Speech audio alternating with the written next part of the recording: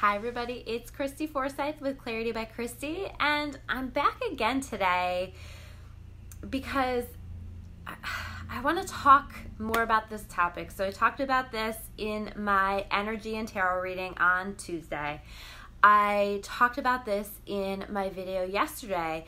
This idea of this being such an important time for us to begin to make that connection to our higher power, you know, to make that connection, to build upon that connection, and to continue to develop it. Hi, Joy, thanks for watching. Um, so make sure you guys say hi if you're watching. Um, and so, I don't know, this is just really important shit, you guys. so, I want, I, I just feel like I need to dive in more. I feel like I, I barely touched on that yesterday, and um, I wanted to talk about one of my absolute favorite parts of having a spiritual connection. And that is when we start to see the magic that happens. And I talked about that a little bit that when you start to put your trust in your higher power, when you start to maybe not, you don't even have to trust it, you just have to start to open to the idea that there is a force that's bigger than you. You just start to have to open to the idea that you're willing to be open to maybe consider making a connection. So it doesn't have to be this giant commitment to your higher power. But when you start to open to it and you start to explore this idea of, you know, maybe there is something bigger than me and I would like to connect with that. Hi, Common, thanks for watching. Um, that this is where the really, really magical stuff can come in. And this is one of my favorite parts of what I do when I'm meeting people for the first time in a soul therapy session. A lot of times they are feeling kind of disconnected from their spirituality or um, you know haven't connected in a very long time. And and so it's one of my favorite things is when they come back after their first session or their second session and they're talking about the magic that's showing up for them because when you start to open again this is where the magic comes in. So let me give you some examples of this so you know what the heck I'm talking about. So if you start first the very first thing that you want to do is set your intention. You want to set your intention that you're open, you know, to connecting on a deeper level with your higher power. So even if you're somebody who's really connected, you can always deepen that connection. So you can set that intention and put that out there and watch that be delivered to you in so many different ways. But how I find that this gets delivered is by these amazing signs and synchronicities that just show up for you in your life. And it's hard to give examples because there's so many different ways. And your job is to watch. So you set your intention and then you watch for this to show up. And it might show up in the form of an answered prayer right? Um, but i think it's really important. A lot of people will say i prayed for this. I don't feel like i got it.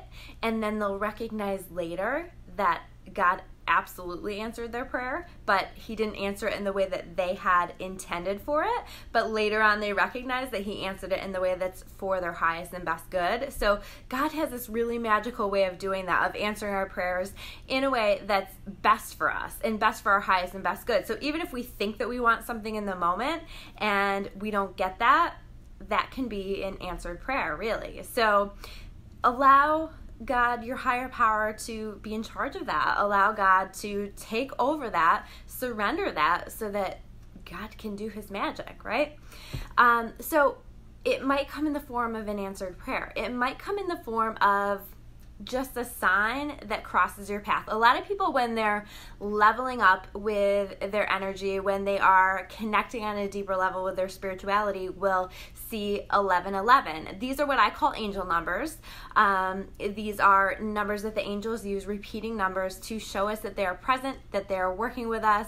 And 1111 specifically means that you're stepping into your awakening, you're leveling up, you're stepping into a new phase of your energy that kind of stuff. So if you're seeing a lot of 1111, know that that's part of what's happening for you. But it can be any angel numbers, it can be any repeating numbers. So numbers are one of the ways that we get signs and synchronicities. It can be animals that cross our path. Uh, sometimes we connect certain meanings and attribute certain meanings to animals um, and then you can also look that up so if you're not sure like if you have something an animal cross your path that seems out of the ordinary, or, um, you know, whenever, a lot of times when I have an animal that is a sign for me, it will come very close to me or um, stand out in some way, or it will show up over and over and over again.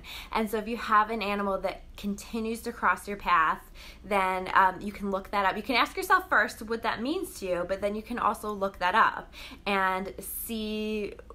You know, you can just look that online or whatever, but see what the definition of that is online. You know, what does that mean? So, for example, last year I was getting, well, not last year, I think it was in the fall, I was getting a ton of snails to the point that I actually stepped on some and crushed them, and that was kind of awful. But um, it was a great way for the universe to get my attention, right? When it crunched underneath my feet. And um, so uh, you can take that and you can look that up snail as a spirit animal or snail as a sign and just kind of see what resonates with you, what connects for you with that. Um, all kinds of signs. So it could be a billboard, it could be a license plate, it could be a sign somewhere, it could be a meme that's on Facebook, it could be um, something that somebody says to you that you're just like, whoa, that's exactly what I needed to hear.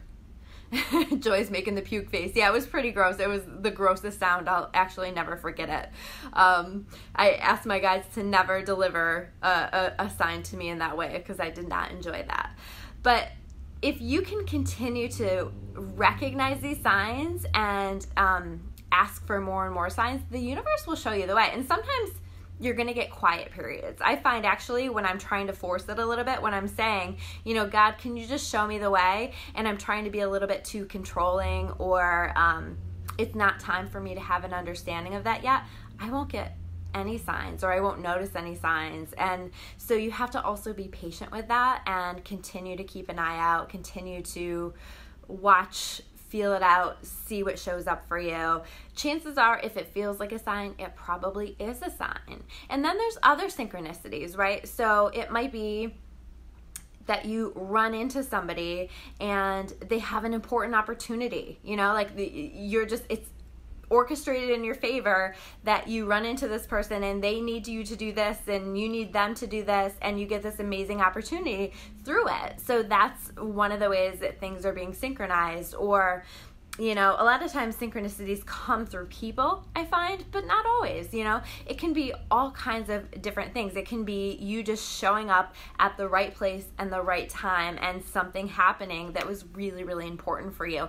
And this is going on, guys, basically all day, all the time. And when you can start to look at that and you can start to recognize it, after a while, you're to take a step back and have, I always say it's like those holy shit moments where you're like, wow, holy shit, the universe actually has my back. There truly are forces that are beyond me, that are helping me, that want to support me, that want to show me that they're helping me. And this is a really, truly magical thing. So I hope that you guys start to set your intentions to connect on a deeper level. I hope that you start to open to the possibility of signs. If you ask for them, be patient, but watch for them. Your job is to watch for them. I think that we miss signs all the time because they're happening all the time. So watch for them and continue to pay attention for them. And the more you recognize them, the more you'll get them. So I hope that you start that journey. I would love to hear from you guys how that goes for you. If you want to learn more about me or about Clarity by Christy, you can check me out at discoveryourawakening.com. If you think that there's somebody that could use this video as a sign or a synchronicity, make sure you share it. Make sure you tag them below.